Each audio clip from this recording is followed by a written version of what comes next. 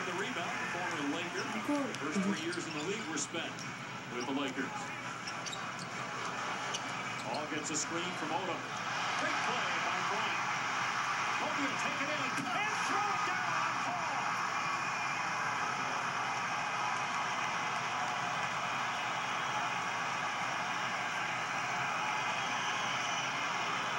Seems like this means a little bit more than just any regular season game. No question. Both teams are competing at a high level. And, and Bryant right here, good help defense and then great recovery to get into the passing lane. And then finishes with authority over Paul. But it all started with his defensive